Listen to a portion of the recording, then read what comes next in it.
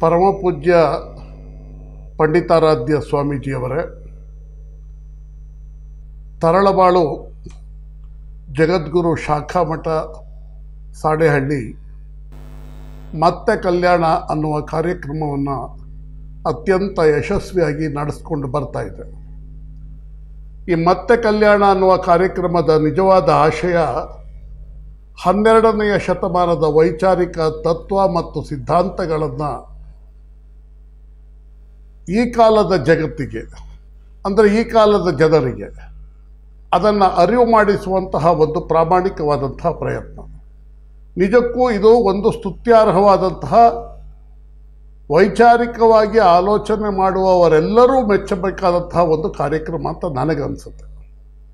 ಪೂಜ್ಯ ಸ್ವಾಮೀಜಿಯವರು ಇಂಥದ್ದೊಂದು ವೈಚಾರಿಕ ಕಾರ್ಯಕ್ರಮವನ್ನು ಅತ್ಯಂತ ಯಶಸ್ವಿಯಾಗಿ ನಡೆಸ್ಕೊಳ್ತಾ ಕರ್ನಾಟಕದ ಉದ್ದಗಲ ಅಲ್ಲ, ಭಾರತದಾದ್ಯಂತ, ಜಗತ್ತಿನಾದ್ಯಂತ ಹನ್ನೆರಡನೆಯ ಶತಮಾನದ ವೈಚಾರಿಕ ತತ್ವ ಮತ್ತು ಸಿದ್ಧಾಂತಗಳನ್ನು ಅರಿವು ಮಾಡಿಕೊಳ್ಳೋದಕ್ಕೆ ಪೂರಕವಾದಂಥ ಭೂಮಿಕೆಯನ್ನು ನಿರ್ಮಾಣ ಮಾಡ್ತಾ ಇದ್ದಾರೆ. ನಿಜ ನಿಜಕ್ಕೂ ಎಲ್ಲರೂ ಇದನ್ನು ಹೃದಯಪೂರ್ವಕವಾಗಿ ಸ್ವಾಗತಿಸಬೇಕು.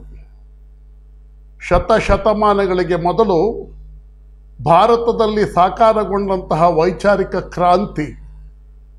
ಬಸವಣ್ಣ ಅಲ್ಲಮಪ್ರಭು ಅಕ್ಕ ಮಹಾದೇವಿ, ಇನ್ನು ನೂರಾರು ಶರಣರ ವಿಚಾರಧಾರೆಗಳು ಇವತ್ತಿಗೂ ಪ್ರಸ್ತುತ ಆಗ್ತಾ ಇದೆ. ಯಾವ ರೀತಿ ಇದು ಪ್ರಸ್ತುತ ಆಗ್ತಾ ಇದೆ ಅನ್ನೋದನ್ನು ಜಗತ್ತಿಗೆ ತೋರಿಸುವಂತಹ ಪ್ರಯತ್ನ ಇದಾಗಿದೆ. ನೋಡಿ, ಇವತ್ತು ಪೂಜ್ಯ ಸ್ವಾಮೀಜಿಯವರು ನನಗೆ ಧರ್ಮ ಮತ್ತು ರಾಜಕೀಯ ಅಂದು ಮತ್ತು ಇಂದು ಅನ್ನುವ ವಿಷಯದ ಮೇಲೆ ಮಾತನಾಡೋದಕ್ಕೆ ಅವಕಾಶವನ್ನು ಕೊಟ್ಟಿದ್ದಾರೆ. ಹನ್ನೆರಡನೆಯ ಶತಮಾನದಲ್ಲಿ ಧರ್ಮ ಯಾವ ರೀತಿ ಇತ್ತು? ರಾಜಕೀಯ ಯಾವ ರೀತಿ ಇತ್ತು? ಇಂದು ಧರ್ಮ ಯಾವ ರೀತಿ ಇದೆ? ರಾಜಕೀಯ ಯಾವ ರೀತಿ ಇದೆ? ಆವತ್ತಿನ ವಿಚಾರಧಾರೆಗಳೇನು? ಇವತ್ತಿನ ವಿಚಾರಧಾರೆಗಳೇನು? ಇದರ ಒಂದು ತೌಲನಿಕ ಅಧ್ಯಯನವನ್ನು ನಾವು ಇಲ್ಲಿ ಮಾಡಬೇಕಾಗಿದೆ. ಯಾವುದೇ ಒಂದು ಭೌಗೋಳಿಕ ಪ್ರದೇಶದ ಸಾಮಾಜಿಕ, ಆರ್ಥಿಕ ಮತ್ತು ರಾಜಕೀಯ ಸ್ಥಿತ್ಯಂತರಗಳು ಅಲ್ಲಿ ರೂಪುಗೊಳ್ಳುವಂತಹ, ಕಾಲದಿಂದ ಕಾಲಕ್ಕೆ ರೂಪುಗೊಳ್ಳುವಂತಹ ಸಿದ್ಧಾಂತದ ಆಧಾರದ ಮೇಲೆ ನಿರ್ಧಾರಿತ ಆಗುತ್ತೆ. ಅಂದರೆ ಆ ಸಿದ್ಧಾಂತಗಳು ಯಾವ ರೀತಿ ಇರಬೇಕು? ಸಿದ್ಧಾಂತದ ಆಶಯಗಳೇನಿರಬೇಕು ಇದನ್ನು ನಾವು ಅನಲೈಸ್ ಮಾಡ್ತಾ ನೋಡ್ತಾ ಹೋದರೆ ಶತಶತಮಾನಗಳು ಕಳೆದ್ರೂ ಸಿದ್ಧಾಂತಗಳು ತಮ್ಮ ಪ್ರಸ್ತುತತೆಯನ್ನು ಕಾಪಾಡಿಕೊಳ್ತಾನೆ ಹೋಗ್ತವೆ. ಈ ಹೀಗೆ ಸಿದ್ಧಾಂತಗಳು ತಮ್ಮ ಪ್ರಸ್ತುತತೆಯನ್ನು ಕಾಪಾಡಿಕೊಳ್ಳಬೇಕಾದ್ರೆ ಆ ಸಿದ್ಧಾಂತದಲ್ಲಿ ಒಂದು ವೈಚಾರಿಕ ಶಕ್ತಿ ಇರಬೇಕು, ಸತ್ವ ಇರಬೇಕು. ನೋಡಿ, ಹನ್ನೆರಡನೆಯ ಶತಮಾನದಲ್ಲಿ ಬಸವಣ್ಣನವರ ನೇತೃತ್ವದಲ್ಲಿ ಒಂದು ಸಿದ್ಧಾಂತ ಸಾಕಾರಗೊಳ್ತು. ಆ ಸಿದ್ಧಾಂತ ಯಾವುದು ಅಂತಂದರೆ ಸಮತಾವಾದ, ಸಮಾಜವಾದ, ಸರ್ವರಿಗೂ ಸಮಬಾಳು, ಸರ್ವರಿಗೂ ಸಮಪಾಲು ಅನ್ನುವಂತಹ ಒಂದು ಸಿದ್ಧಾಂತ.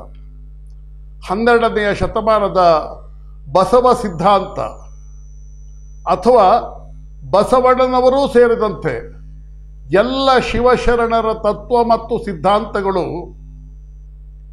ಶೋಷಣ ಮುಕ್ತ ಸಮಾಜವನ್ನು ನಿರ್ಮಾಣ ಮಾಡುವಂತಹ ಒಂದು ಸಿದ್ಧಾಂತಗಳಾಗಿತ್ತು. ಈ ಕಾರಣದಿಂದನೇ ಒಂಬೈನೂರು ವರ್ಷಗಳ ನಂತರವೂ ಹನ್ನೆರಡನೆಯ ಶತಮಾನದ ಶಿವಶರಣರ ವಿಚಾರಧಾರೆಗಳು ನಮಗೆ ಪ್ರಸ್ತುತ ಆಗುತ್ತೆ. ನಾನು ಈ ಮಾತನ್ನು ಯಾಕೆ ಹೇಳ್ತಾ ಇದ್ದೀನಿ ಅಂತಂದರೆ ಕಾಲ ಕಾಲಗಳು ಬದಲಾಗಬಹುದು. ಶತಮಾನಗಳು ಉರುಳಿ ಹೋಗಬಹುದು. ಆದರೆ ಸಿದ್ಧಾಂತಗಳು ಮಾತ್ರ ಸಾಯೋದಿಲ್ಲ. ನೋಡಿ, ಶ್ರೀರಾಮ, ಅದು ಕಾಲ್ಪನಿಕ ಶ್ರೀರಾಮನೋ, ನಿಜವಾದ ಶ್ರೀರಾಮನೋ? ವಾಲ್ಮೀಕಿಯ ರಾಮಾಯಣ ಕಾಲ್ಪ ಕಾಲ್ಪನಿಕ ರಾಮಾಯಣವೋ, ನಿಜವಾದ ರಾಮಾಯಣವೋ? ಅದು ಗೊತ್ತಿಲ್ಲ ಅದು. ಆದರೆ ಆ ವಾಲ್ಮೀಕಿ ರಾಮಾಯಣದಲ್ಲಿರುವಂತಹ ಆದರ್ಶಗಳಿದೆಯಲ್ಲ, ಆ ಆದರ್ಶಗಳು ಎಲ್ಲ ಕಾಲಕ್ಕೂ ಪ್ರಸ್ತುತ ಆಗುತ್ತೆ. ತ್ರೇತಾಯುಗದ ಶ್ರೀರಾಮ, ಆ ಶ್ರೀರಾಮ ಎಷ್ಟು ವಚನ ಬದ್ಧತೆಗೆ ಪ್ರಾಮುಖ್ಯತೆಯನ್ನು ಕೊಡ್ತಾನೆ ಅಂತ ತನ್ನ ತಂದೆ ದಶರಥ ತಾಯಿ ಕೈಕೇಯಿಗೆ ಒಂದು ಮಾತನ್ನು ಕೊಟ್ಟಿರ್ತಾನೆ. ತಾಯಿ ಅಂದರೆ ಚಿಕ್ಕಮ್ಮ. ಆ ಮಾತನ್ನು ನಡೆಸ್ಕೊಡೋದಕ್ಕೆ ಶ್ರೀರಾಮ ಹದಿನಾಲ್ಕು ವರ್ಷಗಳ ವನವಾಸಕ್ಕೆ ಹೋಗೋದಕ್ಕೆ ಸಿದ್ಧನಾಗ್ತಾನೆ. Shriram ಹೇಳ್ಬೋದಾಗಿತ್ತು.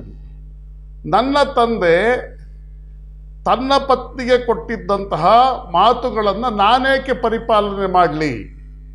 It is is commitment it is not my commitment ಅನ್ನುವ ಮಾತನ್ನು ಶ್ರೀರಾಮ ಹೇಳಬಹುದಾಗಿತ್ತು. ಆದರೆ ಶ್ರೀರಾಮ ತಂದೆ ಮಾತನ್ನು ಕೊಟ್ಟಿದ್ದಾನೆ. ಇಕ್ಷ್ವಾಕು ವಂಶದ ಮಹಾರಾಜ ದಶರಥ. ದಶರಥ ಕೊಟ್ಟಿರುವ ಮಾತುಗಳನ್ನು ಅವನ ಮಗನಾದ ಶ್ರೀರಾಮ ಈಡೇರಿಸೋದು ನನ್ನ ಕರ್ತವ್ಯ ಅಂತ ಹೇಳ್ತಾನೆ, ತಂದೆಯ ಮಾತನಂತೆ ನಡ್ಕೊಳ್ತಾನೆ. ಯಾವುದೇ ಒಂದು ವಿಚಾರಧಾರೆ, ಅದು ಧರ್ಮ ಆಗಿರಬಹುದು, ರಾಜಕೀಯ ಆಗಿರಬಹುದು, ವೈಚಾರಿಕವಾದಂತಹ ಚಿಂತನೆಗಳಾಗಿರಬಹುದು, ಅದು ಸಾವಿರಾರು ವರ್ಷಗಳ ಕಳೆದ ನಂತರವೂ ಯಾಕೆ ಪ್ರಸ್ತುತ ಆಗುತ್ತೆ ಅಂದರೆ ಆ ವಿಚಾರಧಾರೆಯಲ್ಲಿ ಅಂತರ್ಗತವಾಗಿರುವಂತಹ ಶಕ್ತಿ ಮತ್ತು ಸತ್ವದ ಕಾರಣದಿಂದ ಅದು ಸರ್ವಕಾಲಕ್ಕೂ ಪ್ರಸ್ತುತ ಆಗುತ್ತೆ. ಈ ಕಾರಣದಿಂದನೇ ಪ್ರತಿಯೊಬ್ಬರು ಒಂದು ಆಲೋಚನೆಯನ್ನು ಮಾಡಬೇಕು. ಬೌದ್ಧ ಧರ್ಮ ಆಗಿರಬಹುದು, ಕ್ರೈಸ್ತ ಧರ್ಮ ಆಗಿರಬಹುದು, ಇಸ್ಲಾಂ ಧರ್ಮ ಆಗಿರಬಹುದು. ಈ ಧರ್ಮಗಳು ಕಾಲ ಬದಲಾದ್ರೂ ಶತಮಾನಗಳು ಉರುಳಿದ್ರೂ ಆ ಧರ್ಮಗಳು ಇವತ್ತು ಪ್ರಸ್ತುತ ಆಗಿದ್ದಾವೆ. ಇಸ್ಲಾಂ ಧರ್ಮ, ಕ್ರೈಸ್ತ ಧರ್ಮ, ಮತ್ತು ಬೌದ್ಧ ಧರ್ಮ. ಅದೇ ರೀತಿ ಲಿಂಗಾಯತ ಧರ್ಮನೂ ಇವತ್ತು ಪ್ರಸ್ತುತ ಆಗಿದೆ. ಯಾಕೆ ಇದು ಪ್ರಸ್ತುತ ಆಗಿದೆ? ಬೌದ್ಧ ಧರ್ಮ ಯಾಕೆ ಪ್ರಸ್ತುತ ಆಯಿತು? ಕ್ರೈಸ್ತ ಧರ್ಮ ಯಾಕೆ ಪ್ರಸ್ತುತ ಆಯಿತು? ಇಸ್ಲಾಂ ಧರ್ಮ ಯಾಕೆ ಪ್ರಸ್ತುತ ಆಯಿತು ಅಂತ ನಾವು ಆಲೋಚನೆಯನ್ನು ಮಾಡ್ತಾ ಹೋದರೆ ಒಂದು ಅಂಶ ನಮಗೆ ಸ್ಪಷ್ಟವಾಗಿ ಗೋಚರಿಸುತ್ತೆ. ಈ ಎಲ್ಲ ಧರ್ಮಗಳ ಮೂಲ ದ್ರವ್ಯ, ನಿಜವಾದ ಎಸೆನ್ಸ್ ಆ ಎಸೆನ್ಸ್ ಯಾವುದು ಅಂತಂತಂದರೆ ಸಕಲ ಜೀವಾತ್ಮರಿಗೆ ಲೇಸನೆ ಮಾಡುವಂಥದ್ದು. ಬಸವಣ್ಣನವರ ಒಂದು ವಚನ ಹೇಳುತ್ತೆ, ದಯವಿಲ್ಲದ ಧರ್ಮವದಾವುದಯ, ದಯವೇ ಬೇಕು ಸಕಲ ಪ್ರಾಣಿಗಳಲ್ಲಿ. ದಯವಿಲ್ಲದ ಧರ್ಮ ಇಲ್ಲವೇ ಇಲ್ಲ ಅನ್ನುವ ಮಾತುಗಳನ್ನು ಹೇಳ್ತಾರೆ. ಅಂತ ಅಂದರೆ ಎಲ್ಲಿ ದಯೆ ಇರುತ್ತೆ, ಎಲ್ಲಿ ಕರುಣೆ ಇರುತ್ತೆ, ಅದೇ ನಿಜವಾದಂತಹ ಧರ್ಮ ಅನ್ನುವ ಮಾತನ್ನು ಬಸವಣ್ಣನವರು ಹೇಳ್ತಾರೆ. ಬುದ್ಧನು ಅಹಿಂಸೆಯ ಪ್ರತಿಪಾದಕನಾಗಿರ್ತಾನೆ. ಹಾಗೆ ಏಸು ಏಸು ಕ್ರಿಸ್ತನು ಅಹಿಂಸೆಯ ಪ್ರತಿಪಾದಕ ಆಗಿರ್ತಾನೆ ಅಂದರೆ ಇಲ್ಲಿ ಧರ್ಮ ಅಂದ್ರೆ ಏನು?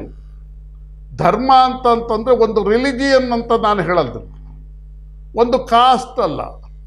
ಧರ್ಮ ಅಂತಂತಂತಂದರೆ ಮನುಷ್ಯ ಮನುಷ್ಯರ ನಡುವಣ ಮಾನವೀಯ ಸಂಬಂಧಗಳೇ ನಿಜವಾದಂತಹ ಧರ್ಮ. ಮನುಷ್ಯ ಮನುಷ್ಯನ ನಡುವಣ ಮಾನವೀಯ ಸಂಬಂಧಗಳು ಅಂದರೆ ಯಾವುದದು? ಮನುಷ್ಯ ಮನುಷ್ಯರ ನಡುವಣ ಮಾನವೀಯ ಸಂಬಂಧಗಳು ಅಂತ ಅಂದರೆ ನುಡಿದಂತೆ ನಡೆಯೋದು. ವಂಚನೆ, ಮೋಸ, ಕಪಟತನ, ಅನ್ಯಾಯ, ಅಕ್ರಮಗಳನ್ನು ಮಾಡದೆ. ತನ್ನ ಜೊತೆಗೆ ಬದುಕುವಂತಹ ಇನ್ನೊಬ್ಬ ಮನುಷ್ಯನನ್ನು ಪ್ರೀತಿಯಿಂದ, ಗೌರವದಿಂದ ನಡೆಸ್ಕೊಳ್ಳೋದೇ ನಿಜವಾದಂತಹ ಧರ್ಮ. ಎಲ್ಲ ಸಿದ್ಧಾಂತಗಳಲ್ಲಿಯೂ ಇಂಥದೊಂದು ನಡತೆ ಅಥವಾ ನಡವಳಿಕೆ ಅಂತರ್ಗತವಾಗಿದೆ. ಗ್ರೀಕ್ ಚಕ್ರಾಧಿಪತ್ಯದಲ್ಲಿ ಪ್ಲೇಟೋ ಒಬ್ಬ ಮಹಾನ್ ತತ್ವಜ್ಞಾನಿ. ಪ್ಲೇಟೋ ಏನು ಹೇಳ್ತಾನೆ ಅಂತಂತಂದರೆ ನಿಜವಾದ ಧರ್ಮ ಯಾವುದು? ನಿಜವಾದ ಧರ್ಮ ಯಾವುದು ಅಂತ ಅಂದರೆ ಆದರ್ಶ ರಾಜ್ಯವನ್ನು ಕಟ್ಟೋದೇ ನಿಜವಾದ ಧರ್ಮ ಅಂತ ಪ್ಲೇಟೋ ಹೇಳ್ತಾರೆ. ಆ ಆದರ್ಶ ರಾಜ್ಯವನ್ನು ಯಾವ ನೆಲೆಗಟ್ಟಿನಲ್ಲಿ ಕಟ್ಟಬೇಕು? ಆ ಆದರ್ಶ ರಾಜ್ಯವನ್ನು ಕಟ್ಟಬೇಕಾದಂತಹ ನೆಲೆಗಟ್ಟು ಯಾವುದು ಅಂತ ಅಂತಂದರೆ ಸನ್ನಡತೆ ಮತ್ತು ಸದಾಚಾರ. ಈ ಸನ್ನಡತೆ ಮತ್ತು ಸದಾಚಾರದಲ್ಲಿ ಯಾರು ಒಂದು ರಾಜ್ಯವನ್ನು ಆಳೋದಕ್ಕೆ ಸಾಧ್ಯ ಆಗುತ್ತೆ ಆ ರಾಜ್ಯದಲ್ಲಿ ನಿಜವಾಗ್ಲೂ ಆದರ್ಶ ರಾಜ್ಯದ ಪರಿಕಲ್ಪನೆ ಸಾಕಾರಗೊಳ್ಳೋದು ಸಾಧ್ಯ ಆಗುತ್ತೆ. ಈ ಕಾರಣದಿಂದಲೇ ಪ್ಲೇಟೋ ಏನು ಹೇಳ್ತಾ ಇದ್ರು ಅಂತ ಅಂತಂದರೆ, ಯಾವುದೇ ಒಂದು ಆದರ್ಶ ರಾಜ್ಯದಲ್ಲಿ ಶ್ರೀಸಾಮಾನ್ಯನಿಗೆ ಯಾವ ನ್ಯಾಯ ಅನ್ವಯ ಆಗುತ್ತೆ, ಅದು ಆ ಆ ರಾಜ್ಯವನ್ನು, ಆ ವ್ಯವಸ್ಥೆಯನ್ನು ಆಳುವಂತಹ ಅಧಿಕಾರ ಸೂತ್ರ ಹಿಡಿದಿರುವಂತಹ ವ್ಯಕ್ತಿಗೂ ಆ ನ್ಯಾಯ ಅನ್ವಯ ಆಗುತ್ತೆ. ಆ ನ್ಯಾಯನ ಯಾವ ರೀತಿ ಪರಿಪಾಲಿಸಬೇಕು? ಶ್ರೀಸಾಮಾನ್ಯನಿಗೆ ಅನ್ವಯವಾಗುವ ನ್ಯಾಯವನ್ನು ಶ್ರೀಸಾಮಾನ್ಯ ಯಾವ ರೀತಿ ಪರಿಪಾಲಿಸ್ತಾನೋ ಅಷ್ಟೇ ಜವಾಬ್ದಾರಿಯಿಂದ, ಅದಕ್ಕಿಂತಲೂ ಹೆಚ್ಚು ಜವಾಬ್ದಾರಿಯಿಂದ, ಅದಕ್ಕಿಂತಲೂ ಹೆಚ್ಚು ಹೊಣೆಗಾರಿಕೆಯಿಂದ ಅಧಿಕಾರ ಸೂತ್ರ ಹಿಡಿದವರು ನ್ಯಾಯ ಪರಿಪಾಲನೆಯನ್ನು ಮಾಡಬೇಕು. ಯಾಕೆ ಅಂತಂದರೆ, ಒಬ್ಬ ಶ್ರೀಸಾಮಾನ್ಯ ತಪ್ಪು ಮಾಡಿದ್ರೆ, ಆ ಶ್ರೀಸಾಮಾನ್ಯನನ್ನು ಸರಿದಾರಿಗೆ ತರೋದಕ್ಕೆ ರಾಜ್ಯಾಧಿಕಾರ ಅನ್ನುವಂತಹ ಒಂದು ಅಧಿಕಾರ ವ್ಯವಸ್ಥೆ, ಆಡಳಿತ ವ್ಯವಸ್ಥೆಯ ಅಂಕುಶ ಇರುತ್ತೆ.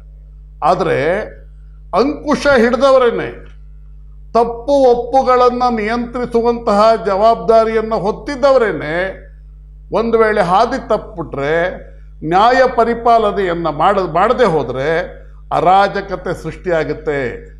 ಆದ್ದರಿಂದ ಶ್ರೀಸಾಮಾನ್ಯನಿಗೆ ಅನ್ವಯವಾಗುವಂತಹ ಎಲ್ಲ ನ್ಯಾಯ ಮತ್ತು ಅನ್ಯಾಯಗಳು, ವಿಶೇಷವಾಗಿ ನ್ಯಾಯಗಳು ಜಸ್ಟಿಸ್ ಸಿಸ್ಟಮ್ ಆ ಜಸ್ಟಿಸ್ ಸಿಸ್ಟಮ್ಮು ಅಧಿಕಾರ ಸೂತ್ರ ಹಿಡಿದವ್ರಿಗೂ ಅನ್ವಯ ಆಗುತ್ತೆ. ಮತ್ತು ಅಧಿಕಾರ ಸೂತ್ರ ಹಿಡಿದವರು ಇದನ್ನು ಹೆಚ್ಚು ಜವಾಬ್ದಾರಿಯಿಂದ ಸಾಕಾರಗೊಳಿಸಬೇಕು. ಅದನ್ನು ಹೆಚ್ಚು ಹೆಚ್ಚು ಜವಾಬ್ದಾರಿಯಿಂದ ನಿರ್ವಹಿಸಬೇಕು ಅನ್ನೋದು ಪ್ಲೇಟೋನ ಸಿದ್ಧಾಂತ ಆಗಿತ್ತು. ಈ ಕಾರಣದಿಂದಲೇ ಪ್ಲೇಟೋ ಏನು ಹೇಳ್ತಾ ಇದ್ದದ್ದು ಅಂತಂದರೆ, ಯಾವುದೇ ಒಂದು ಆದರ್ಶ ರಾಜ್ಯವನ್ನು ಕಟ್ಟಬೇಕಾದಂತಹ ಸಂದರ್ಭದಲ್ಲಿ ಮೊದಲು ಅಧಿಕಾರ ಸೂತ್ರ ಹಿಡಿದವರು ಸನ್ನಡತೆಯವರಾಗಿರಬೇಕು, ಸಚ್ಚಾರಿತ್ರ್ಯವಂತರಾಗಿರಬೇಕು. ಅವರಿಗೆ ತನ್ನ ಪ್ರಜೆ, ಪ್ರಜೆಗಳ ನೋವು, ನಲಿವುಗಳ ಅರಿವಿರಬೇಕು. ಅದಕ್ಕೆ ಪ್ರಾಮಾಣಿಕವಾಗಿ ಸ್ಪಂದಿಸುವಂತಹ ಒಂದು ಮಾನಸಿಕ ಸ್ಥಿತಿ ಇರಬೇಕು. ಅವರು ನುಡಿದಂತೆ ನಡಿಬೇಕು. ಅನ್ನುವಂತಹ ಮಾತುಗಳನ್ನು ಪ್ಲೇಟೋ, ಕ್ರಿಸ್ತಪೂರ್ವ ನಾನ್ನೂರ ಇಪ್ಪತ್ತ ಮೂರರ ಅವಧಿ ಒಳಗೆ, ಅಂತಂದರೆ ಹೆಚ್ಚು ಕಡಿಮೆ, ಆ ತಲೆ, ಆ ಸರಿಸುಮಾರಿನಲ್ಲಿ ಪ್ಲೇಟೋ ಈ ಅಭಿಪ್ರಾಯಗಳನ್ನು ವ್ಯಕ್ತಪಡಿಸ್ತಾನೆ. ನೋಡಿ ಆರು ಸಾವಿರ ವರ್ಷಗಳಿಗೆ ಮೊದಲು ಶ್ರೀರಾಮ ವ್ಯಕ್ತಪಡಿಸಿದಂತಹ ಅಭಿಪ್ರಾಯಗಳು. ಎರಡು ಮೂರು ಸಾವಿರ ವರ್ಷಗಳಿಗೆ ಮೊದಲು ಪ್ಲೇಟೋ ವ್ಯಕ್ತಪಡಿಸಿದಂತಹ ಅಭಿಮತ ಇವತ್ತು ನಮಗೆ ಪ್ರಸ್ತುತ ಆಗುತ್ತೆ.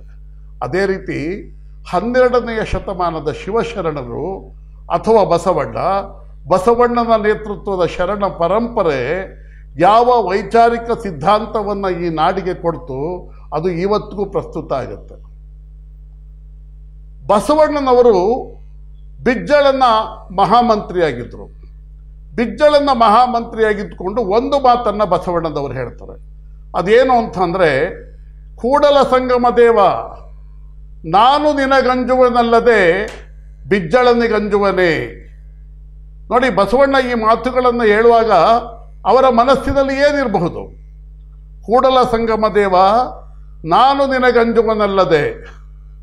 ಬಿಜ್ಜಳನಿಗಂಜುವನೇ ಬಸವಣ್ಣನವರ ಈ ಈ ಮಾತುಗಳಲ್ಲಿ ಒಂದು ಅಂಶ ನಮಗೆ ಸ್ಪಷ್ಟವಾಗಿ ಬಿಂಬಿತ ಆಗುತ್ತೆ. ಅದೇನು ಅಂತ ಅಂತಂದರೆ, ಕೂಡಲ ಸಂಗಮ ದೇವ ರಾಜಧರ್ಮದ ಸಂಕೇತವಾಗಿದ್ದ. ಬಿಜ್ಜಳ ಪುರೋಹಿತಶಾಹಿಯ ಸಂಕೇತವಾಗಿದ್ದ. ರಾಜಧರ್ಮ ಅಂದರೆ ಯಾವುದು? ನಡೆ ನುಡಿ, ಆಚಾರ ವಿಚಾರ ಸತ್ಯ ಅಸತ್ಯ, ಕಾಯಕ ದಾಸೋಹ ಇವೆಲ್ಲವೂ ರಾಜಧರ್ಮದ ಸಂಕೇತ ಆಗಿತ್ತು. ಆದರೆ ಬಿಜ್ಜಳ ಪುರೋಹಿತಶಾಹಿಯ ಸಂಕೇತವಾಗಿದ್ದ. ಅಂದರೆ ಅಸ್ಪೃಶ್ಯತೆ, ಅಸಮಾನತೆ, ಸ್ತ್ರೀಯರ ಶೋಷಣೆ, ನುಡಿದಂತೆ ನಡೆದೇ ಇರೋದು, ವಂಚನೆ, ಮೋಸ ಇದರ ಸಂಕೇತವಾಗಿದ್ದ. ಅಂತಂದರೆ ಪುರೋಹಿತಶಾಹಿಯ ಸಂಕೇತವಾಗಿದ್ದ ಅನ್ನೋದನ್ನು ಅರ್ಥಪೂರ್ಣವಾಗಿ ಆ ಮಾತುಗಳಲ್ಲಿ ಬಸವಣ್ಣನವರು ಹೇಳ್ತಾರೆ. ದೇವಲೋಕ, ಮರ್ತ್ಯಲೋಕವೆಂಬುದು ಬೇರಿಲ್ಲ ಕಾಣಿಭೋ ಸತ್ಯವನ್ನು ನುಡಿಯುವುದೇ ದೇವಲೋಕ, ಮಿಥ್ಯವನ್ನು ನುಡಿಯುವುದೇ ಮಧ್ಯಲೋಕ ಆಚಾರವೇ ಸ್ವರ್ಗ, ಅನಾಚಾರವೇ ನರಕ. ನೋಡಿ, ಎಷ್ಟು ಅದ್ಭುತವಾಗಿದೆ. ಸತ್ಯವನ್ನು ನಾವೆಲ್ಲಿ ನುಡಿತೀವಿ? ಅದೇ ದೇವಲೋಕ. ಮಿಥ್ಯೆ ಅಂತಂದರೆ ಸುಳ್ಳನ್ನು ಎಲ್ಲಿ ಹೇಳ್ತೀವಿ? ಅದೇ ಮರ್ತ್ಯಲೋಕ. ಆಚಾರವೇ ಸ್ವರ್ಗ. ಅನಾಚಾರವೇ ನರಕ. ಎಷ್ಟು ಅದ್ಭುತವಾಗಿದೆ ಈ ಮಾತುಗಳು. ಅಂದರೆ ಇದೊಂದು ಅದ್ಭುತವಾದಂತಹ ವಿಚಾರಧಾರೆ. ಈ ವಿಚಾರಧಾರೆಯಲ್ಲಿ ಏನು ಅಂತರ್ಗತವಾಗಿದೆ ಅಂತ ಅಂತಂದರೆ ಯಾವುದೇ ಒಬ್ಬ ವ್ಯಕ್ತಿ ಸದಾಕಾಲ ಸತ್ಯವನ್ನು ನುಡಿಬೇಕು, ನುಡಿದಂತೆ ನಡಿಬೇಕು. ಮತ್ತು ಅವನ ವ್ಯಕ್ತಿತ್ವದಲ್ಲಿ ಆಚಾರವೇ ಸ್ವರ್ಗ. ಅವನ ವ್ಯಕ್ತಿತ್ವದಲ್ಲಿ ಆಚಾರ ಅಂದರೆ ಚಾರಿತ್ರ್ಯ ಅಂತರ್ಗತವಾಗಿರಬೇಕು. ಚಾರಿತ್ರ್ಯ ಅಂತರ್ಗತವಾಗಿದ್ದರೆ ಅದೇ ಸ್ವರ್ಗ ಇಲ್ಲದೆ ಹೋದರೆ ಅದೇ ನರಕ.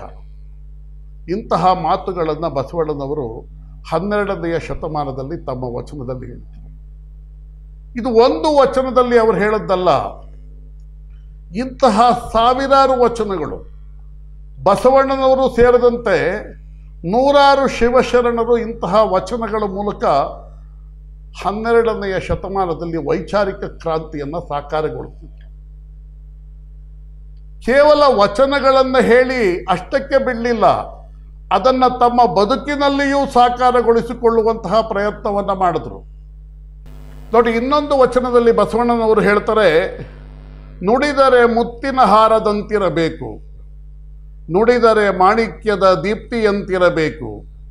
ನುಡಿದರೆ ಸ್ಫಟಿಕದ ಶಲಾಕೆಯಂತಿರಬೇಕು. ನುಡಿದರೆ ಲಿಂಗ ಮೆಚ್ಚಿ ಅಹುದಹುದೆನ್ನುವಂತಿರಬೇಕು. ನುಡಿಯೊಳಗೊಂದಾಡಿ ನಡೆಯದಿರ್ದೊಡೆ ಹಿಡಿದಿದ್ದ ಲಿಂಗ ಘಟಸರ್ಪವಾಗುವುದು ಕೂಡಲ ಸಂಗಮ ದೇವ ಎಷ್ಟು ಅದ್ಭುತವಾಗಿದೆ ಈ ವಚನ ನೋಡಿ. ನುಡಿದರೆ ಮುತ್ತಿನ ಹಾರದಂತಿರಬೇಕು. ಮುತ್ತಿನ ಹಾರ ಅದು ಎಷ್ಟು ಅದನ್ನು ನಾವು ಪೋಣಿಸಿ, ಅದಕ್ಕೊಂದು ಸುಂದರವಾದಂಥ ವಿನ್ಯಾಸವನ್ನು ರೂಪುಗೊಳಿಸಿ, ಅದನ್ನು ನಾವು ಕತ್ತದಲ್ಲಿ ಹಾಕ್ಕೊಂಡಾಗ ಆ ಮುತ್ತಿನ ಹಾರ ಎಷ್ಟು ಆಕರ್ಷಕವಾಗಿರುತ್ತೆ, ಅಷ್ಟು ಆಕರ್ಷಕವಾಗಿ ನಮ್ಮ ಮಾತುಗಳಿರ್ಬೇಕು ನುಡಿದರೆ ಮಾಣಿಕ್ಯದ ದೀಪ್ತಿಯಂತಿರಬೇಕು ಮಾಣಿಕ್ಯದ ದೀಪ್ತಿ ಹೇಗೆ? ಮಾಣಿಕ್ಯದ ದೀಪ್ತಿಗೆ ನಾವು ದೀಪವನ್ನು ಹಚ್ಚೋಲ್ಲ. ಅದು ಸ್ವಯಂ ಪ್ರಕಾಶದಿಂದ, ಸ್ವಯಂ ಪ್ರಭೆಯಿಂದ ಬೆಳಗುತ್ತೆ. ಅಂಥದ್ದೊಂದು ಶಕ್ತಿ ಅದಕ್ಕೆ ಅಂತರ್ಗತವಾಗಿರುತ್ತೆ. ನುಡಿದರೆ ಸ್ಫಟಿಕದ ಶಲಾಖೆಯಂತಿರಬೇಕು. ಸ್ಫಟಿಕದ ಶಲಾಕೆ ಎಷ್ಟು ಪಾರದರ್ಶಕವಾಗಿರುತ್ತೆ, ಹಾಗೆ ನಮ್ಮ ಮಾತುಗಳು ಪಾರದರ್ಶಕವಾಗಿರಬೇಕು. ನೋಡಿ, ಇನ್ನು ಮುಂದೆ, ನುಡಿದರೆ ಲಿಂಗ ಮೆಚ್ಚಿ ಅಹುದಹುದೆನಬೇಕು. ಈ ಮಾತು ಎಷ್ಟು ಅದ್ಭುತವಾಗಿದೆ ಅಂತ ಅಂದರೆ ಅದನ್ನು ನೇರವಾಗಿ ನಾವು ನೋಡಿದಾಗ ನುಡಿದರೆ ಲಿಂಗ ಮೆಚ್ಚಿ ಅಹುದಹುದೆನಬೇಕು ನಮ್ಮ ಇಷ್ಟಲಿಂಗ, ನಾವು ಸದಾಕಾಲ ಆರಾಧಿಸುವಂತಹ ಇಷ್ಟಲಿಂಗ, ಅದು ಮೆಚ್ಚಿ ಅಹುದಹುದೆನಬೇಕು ಆ ರೀತಿ ಇರಬೇಕು ಅಂತ ಹೇಳ್ತಾರೆ. ಆದರೆ ಇದನ್ನು ನಾವು ಇನ್ನೂ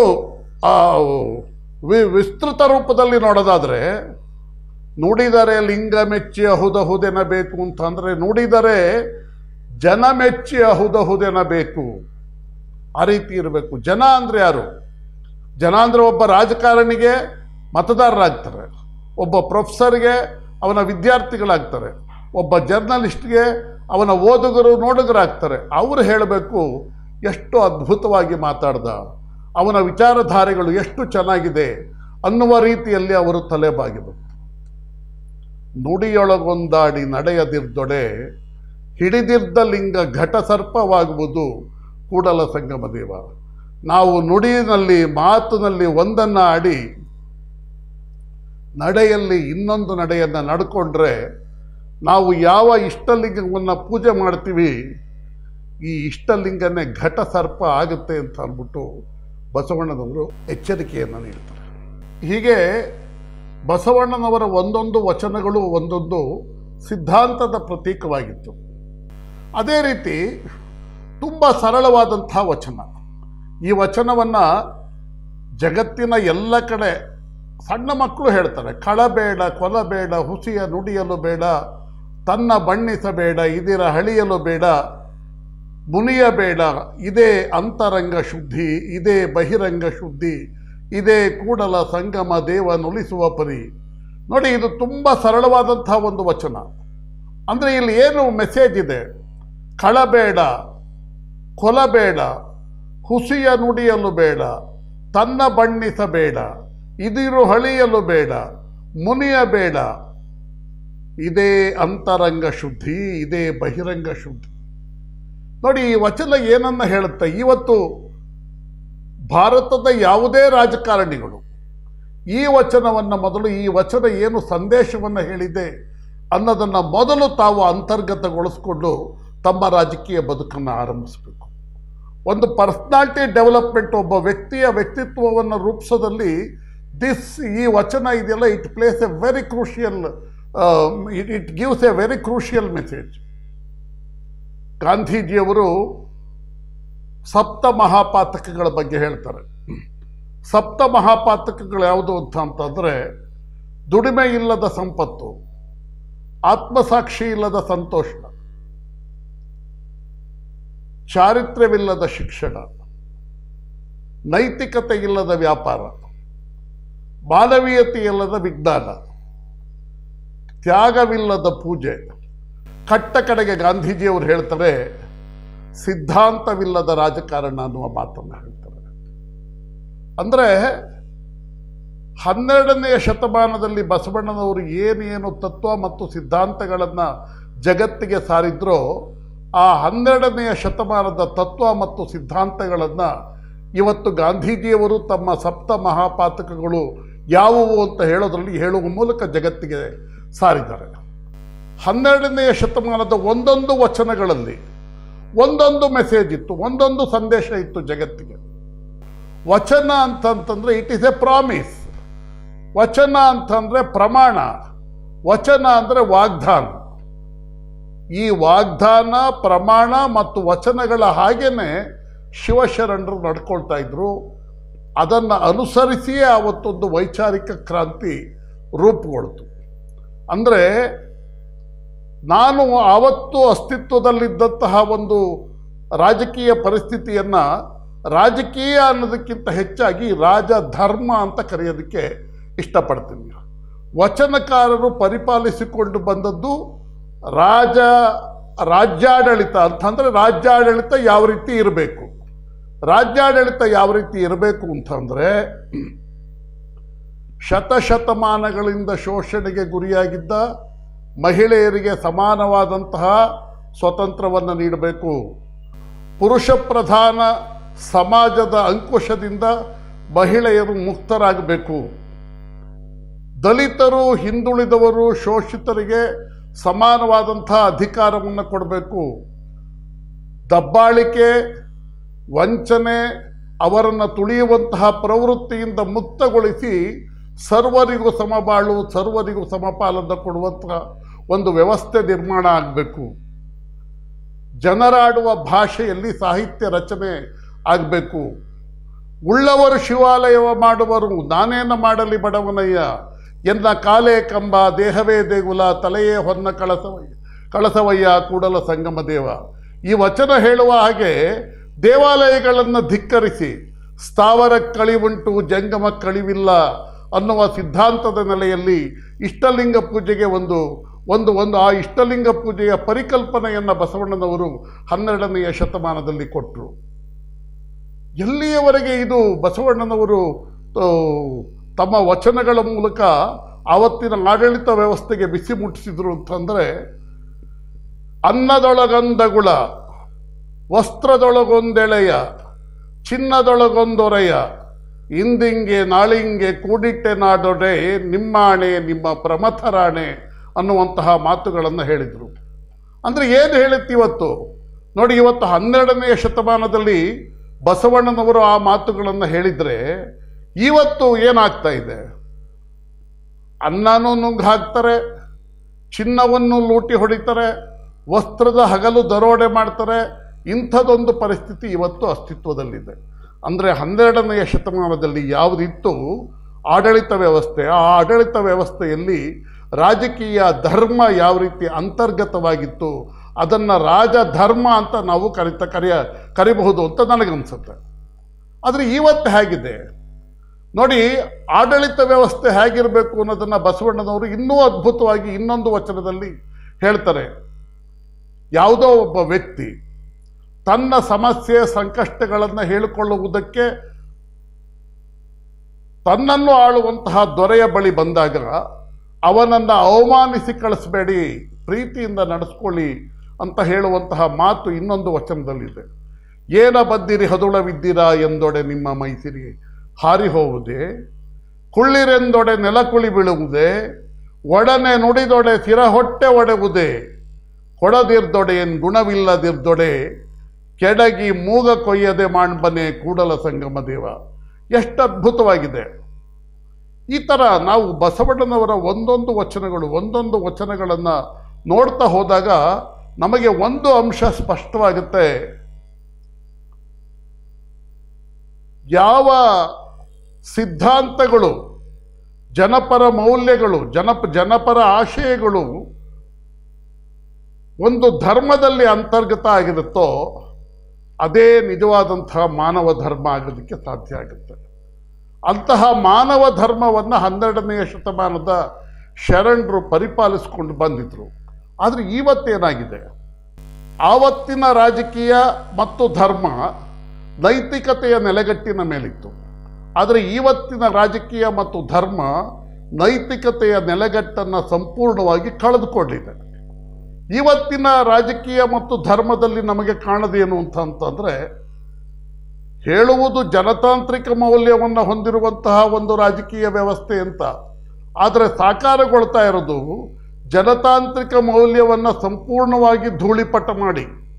ಸ್ವೇಚ್ಛಾಚಾರದ ರಾಜಕೀಯ ವ್ಯವಸ್ಥೆ ಭಾರತದಲ್ಲಿ ಇವತ್ತು ಅಸ್ತಿತ್ವದಲ್ಲಿದೆ. ಸ್ನೇಹಿತರೆ, ರಾಜಕೀಯ ಮತ್ತು ಧರ್ಮ ಅಂದು ಇಂದು. ಅಂದು ಅಸ್ತಿತ್ವದಲ್ಲಿದ್ದಂತಹ ರಾಜಕೀಯ ಮತ್ತು ಧರ್ಮ ಅದಕ್ಕೊಂದು ನೈತಿಕ ನೆಲೆಗಟ್ಟಿತ್ತು. ವಿಚಾರಧಾರೆಯ ಬೆನ್ನೆಲುಬಿತ್ತು ಆದರೆ ಇವತ್ತು ಅಸ್ತಿತ್ವದಲ್ಲಿರುವಂತಹ ರಾಜಕೀಯಕ್ಕೆ ನೈತಿಕ ನೆಲೆಗಟ್ಟಿಲ್ಲ, ಒಂದು ತತ್ವ ಇಲ್ಲ, ಒಂದು ಸಿದ್ಧಾಂತ ಇಲ್ಲ. ಇವತ್ತು ನಾವು ಕಾಣೋದು ಸಂಪೂರ್ಣವಾಗಿ ಸಮಯ ಸಾಧಕ ರಾಜಕಾರಣ. ತನ್ನ ಇಚ್ಛೆ, ತನ್ನ ಆಶಯಗಳು, ತನ್ನ ಗುರಿ ಈಡೇರೋದಾದರೆ ಇವತ್ತಿನ ರಾಜಕಾರಣಿಗಳು ಯಾವುದೇ ರೀತಿಯ ರಾಜಿಗೆ ಸಿದ್ಧ. ಇವರಿಗೆ ತತ್ವ ಇಲ್ಲ, ಸಿದ್ಧಾಂತ ಇಲ್ಲ, ಒಂದು ವೈಚಾರಿಕವಾದಂಥ ವಿಚಾರಧಾರೆಗಳಿಲ್ಲ. ಧರ್ಮ ಮತ್ತು ರಾಜಕೀಯ ಜೊತೆ ಜೊತೆಯಲ್ಲಿ ಹೋದಾಗ ಅದು ರಾಜಧರ್ಮ ಆಗುತ್ತೆ. ರಾಜಧರ್ಮ ಅಂದ್ರೇನು? ಆ ರಾಜಧರ್ಮಕ್ಕೆ ನೈತಿಕ ನೆಲೆಗಟ್ಟಿರುತ್ತೆ. ವಿಚಾರಧಾರೆಯ ಬೆನ್ನೆಲುಬಿರುತ್ತೆ. ಸಿದ್ಧಾಂತದ ಶಕ್ತಿ ಇರುತ್ತೆ. ಆದರೆ ಧರ್ಮ ರಾಜಕೀಯದ ಜೊತೆ ಸೇರದೆ ಹೋದಾಗ ರಾಜಕೀಯದಲ್ಲಿ ಅರಾಜಕತೆ ಸೃಷ್ಟಿಯಾಗುತ್ತೆ, ಸ್ವೇಚ್ಛಾಚಾರ ಸೃಷ್ಟಿಯಾಗುತ್ತೆ. ಅಧಿಕಾರ ಸೂತ್ರ ಹಿಡಿದಂತಹ ಜನ ಮನಸ್ಸಿಗೆ ಬಂದ ಹಾಗೆ ರಾಜ್ಯಾಡಳಿತವನ್ನು ನಿರ್ವಹಿಸ್ತಾರೆ.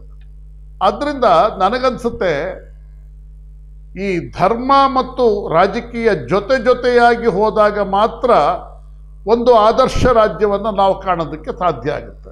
ಬದಲಾವಣೆಗಳು ಬರಬಹುದು.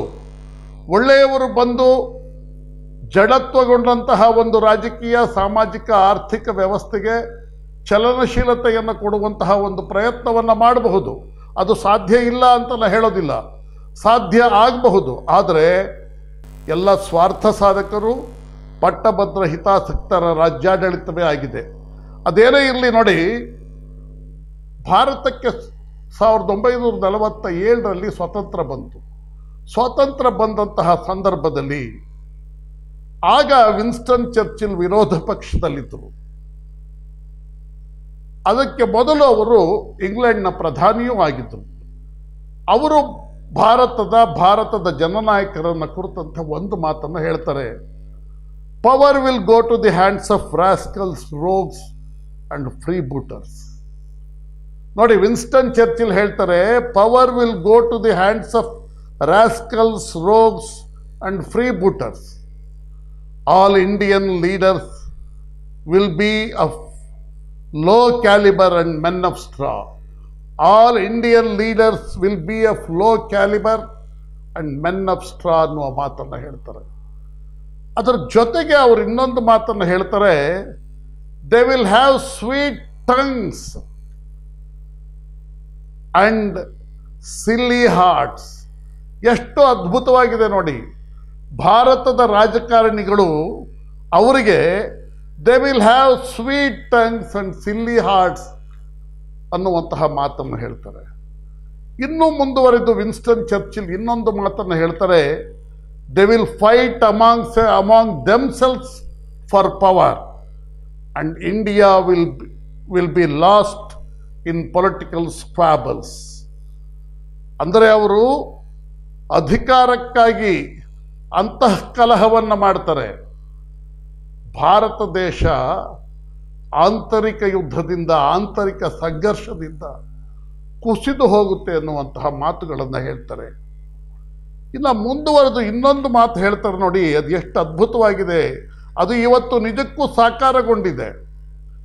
A day would come when an air and water would be taxed in India ಎಷ್ಟು ಚೆನ್ನಾಗಿದೆ ಈ ಮಾತುಗಳು ನೋಡಿ. ಮಾತುಗಳು ಚೆನ್ನಾಗಿದೆ. ಆದರೆ ಭಾರತದ ಜನತೆ ಅವತ್ತು ವಿನ್ಸ್ಟನ್ ಚರ್ಚಿಲ್ ಏನು ಹೇಳಿದರು, ಆ ಮಾತುಗಳನ್ನು ಇವತ್ತು ಅನುಭವಿಸುವಂತಹ ಒಂದು ಪರಿಸ್ಥಿತಿ ನಿರ್ಮಾಣ ಆಗಿದೆ. A day would come when an even air and water would be taxed in India. ಈ ಮಾತುಗಳು ಎಪ್ಪತ್ತ ನಾಲ್ಕು ವರ್ಷಗಳಿಗೆ ಮೊದಲು ವಿನ್ಸ್ಟನ್ ಚರ್ಚಿಲ್ ಅವರು ಹೇಳಿದರು. ಆದರೆ ಇವತ್ತು ಅದು ನೂರಕ್ಕೆ ನೂರರಷ್ಟು ಸತ್ಯ ಆಗಿದೆ. ಭಾರತದ ಜನತೆ ಅಧಿಕಾರ ಸೂತ್ರ ಹಿಡಿದವರಲ್ಲಿ ರಾಜಧರ್ಮದ ಕೊರತೆ ಎದ್ದು ಕಾಣ್ತಾ ಇರೋದನ್ನು ಕಾಣ್, ನೋಡ್ತಾ ಇದ್ದಾರೆ. ಯಾವ ರಾಜಕಾರಣಿಗೂ ಒಂದು ರಾಜಧರ್ಮದ ಆ ಒಂದು ಬೆನ್ನೆಲುಬು ಇಲ್ಲವೇ ಇಲ್ಲ. ಎಲ್ಲರಲ್ಲಿಯೂ ಸ್ವೇಚ್ಛಾಚಾರ ಇದೆ. ಅರಾಜಕ ರಾಜಕೀಯ ಪರಿಸ್ಥಿತಿಯನ್ನು ನಿರ್ಮಾಣ ಮಾಡುವಂತಹ ಮನಸ್ಸಿದೆ ಈ ಹಿನ್ನೆಲೆ ಒಳಗೆ ನಮಗೀಗಲೂ ಪ್ರಸ್ತುತ ಆಗ್ತಾರೆ ಹನ್ನೆರಡನೆಯ ಶತಮಾನದ ಶಿವಶರಣರು. ಸ್ನೇಹಿತರೆ, ಕಾಲ ಬದಲಾದ ಹಾಗೆ ಸಾರ್ವಜನಿಕ ಮೌಲ್ಯಗಳು ಚಿಂತನಾ ಕ್ರಮಗಳು ಬದಲಾಗ್ತಾನೇ ಹೋಗ್ತವೆ. ಆದರೆ ಯಾವುದೇ ಒಂದು ವಿಚಾರಧಾರೆ ಸಾವಿರ ಸಾವಿರ ಸಾವಿರ ವರ್ಷಗಳು ಕಳೆದ್ರೂ ಅದರಲ್ಲಿ ಅಂತರ್ಗತವಾದಂತಹ ಶಕ್ತಿ ಇದ್ದರೆ ಅದರಲ್ಲಿ ಜೀವನ ಮೌಲ್ಯಗಳಿದ್ದರೆ ಜನಪರ ಆಶಯಗಳಿದ್ದರೆ ಆ ವಿಚಾರಧಾರೆಗಳು ಎಲ್ಲ ಕಾಲಕ್ಕೂ ಪ್ರಸ್ತುತ ಆಗ್ತವೆ. ಸ್ನೇಹಿತರೆ, ಪೂಜ್ಯ ಸ್ವಾಮೀಜಿಯವರು ಮತ್ತೆ ಕಲ್ಯಾಣ ಈ ಕಾರ್ಯಕ್ರಮದಲ್ಲಿ ಮಾತನಾಡೋದಕ್ಕೆ ನನಗೆ ಒಂದು ಅವಕಾಶವನ್ನು ಕೊಟ್ಟರು ಅವರಿಗೆ ನನ್ನ ಹೃದಯಪೂರ್ವಕ ಧನ್ಯವಾದಗಳನ್ನು ಅರ್ಪಿಸ್ತೀನಿ. ಜೈ ಹಿಂದ್ ಜೈ ಕರ್ನಾಟಕ.